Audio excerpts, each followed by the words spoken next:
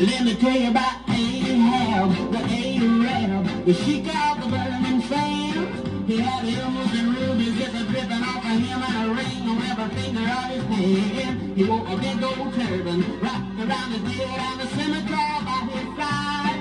And every evening about midnight he'd jump on his camel named Clyde and ride silently through the night to the Sultan's tent where he would secretly meet up with Fatima of the Seven Veils, the swingless number one dancer in the Sultan's whole harem. Cause like him and her had a thing going, you know, they've been carrying on for some time now behind the Sultan's back. And you could hear him talk to his camel as he rode out across the dunes. His voice would cut through the still night desert air, and he'd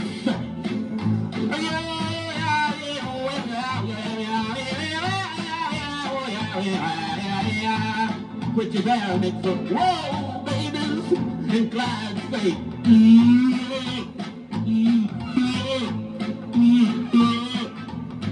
well, he brought his camel to a screeching halt in the rear of Fatima's tent.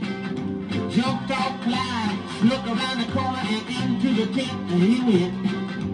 There he saw Fatima laying on a zebra skin rug with rings on her fingers and bells on her toes and in her nose. Ho, ho.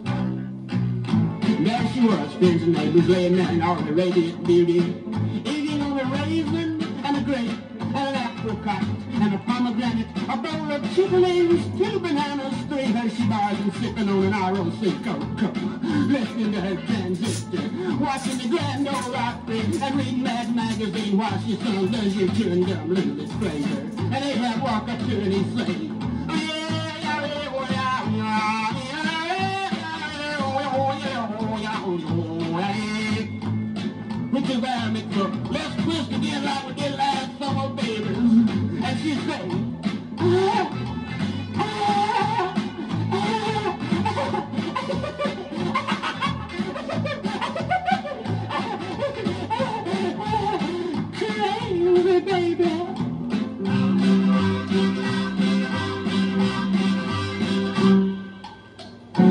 Of the sun walked in. Ahab knew that this was the end.